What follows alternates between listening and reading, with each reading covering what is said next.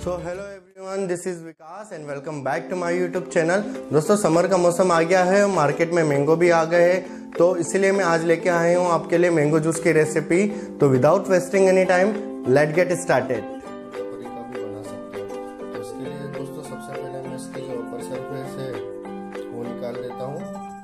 जो counter surface है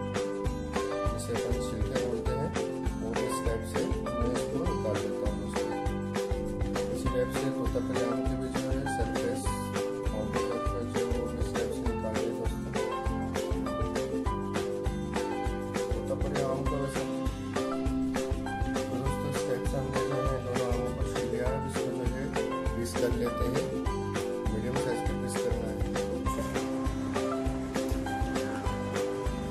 इसके बाद जो है हमने जो आम के पीसेस कर लिए थे, उसको मिक्सी की सहायता से हम पीस लेंगे ग्राइंड कर लेंगे।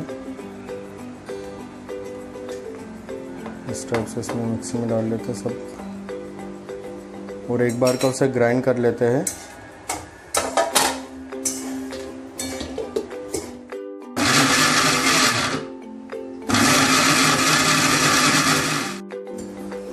देखिए, इस टाइप से अब जो है मिक्सर में जूस जो है ग्राइंड हो चुका है। ये देखिए, अब इसमें जो है हम शक्कर ऐड करेंगे। शक्कर जो है, छोटी कटोरी ली है मैंने, एक पूरी कटोरी। इसमें ऐड कर देंगे। और एक बड़ा कप जो है, दूध लिया है, जो कि ठंडा है। ठंडा दूध करके लिया है।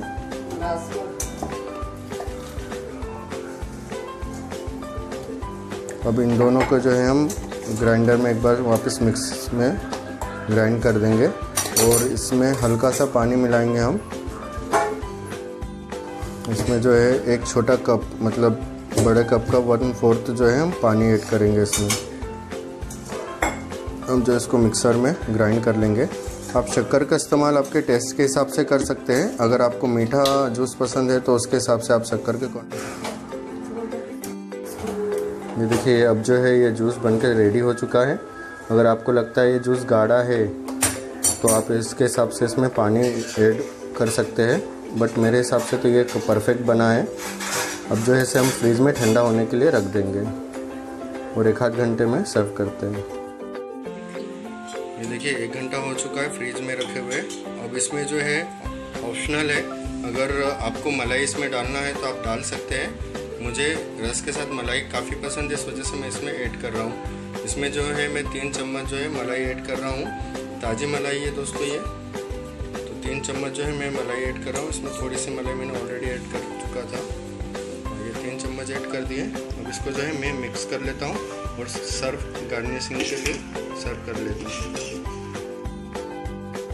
ये देखो दोस्तों, अब हमने गार्निशिंग कर लिया है। और इस टाइप से जो है मैंगो गार्निशिंग करी हमने। केसर और बादाम डाल के, कतर के, इस टाइप से कर दिया है।